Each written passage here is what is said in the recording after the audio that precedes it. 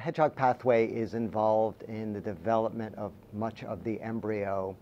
Um, and it turns out, however, to be involved not just in degenerative diseases, but also in cancer.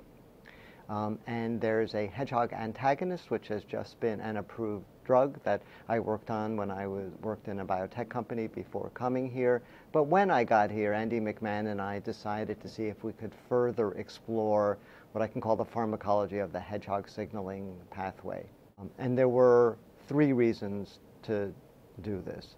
Um, one reason um, was that a lot of the existing hedgehog antagonists have um, a, a, curious effect, which is they can um, kind of wear off and hyperactivate hedgehog signaling. So to us, that seemed disadvantageous for a drug that would treat cancer.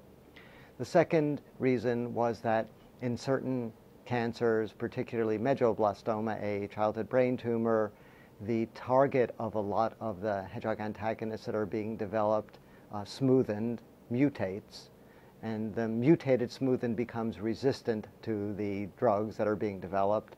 And so we wanted to see if we could develop a form of, the, of, of a hedgehog antagonist that would still act on the mutated forms. And then the third reason was we wanted to more broadly explore how the hedgehog pathway is regulated and to see if we could come up with completely novel ways of turning on and turning off the pathway.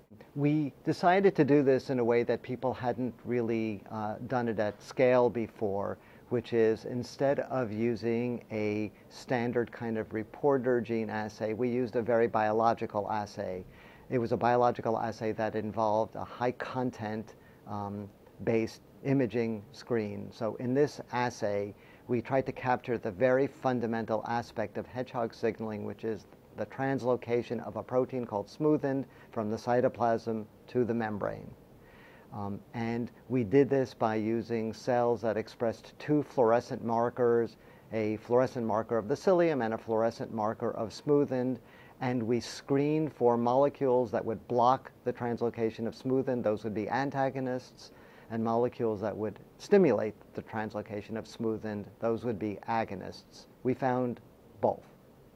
In a paper that was recently published and in a paper that will soon be published, we describe um, various features of molecules that we found in a screen that um, was based on the use of about 7,500 small molecules. We found some very interesting things, including the things that we set out to find, which is to say molecules that inhibit even the mutated forms of smoothened.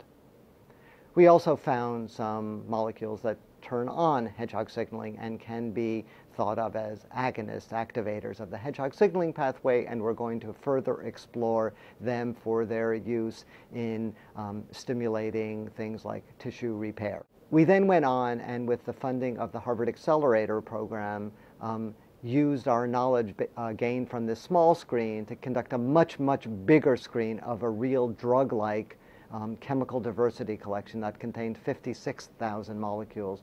And from that screen, which worked very, very well, we got a massive amount of data, identified many new kinds of hedgehog antagonists and agonists, and we're excited about working out how these new kinds of molecules act and what their clinical potential may be.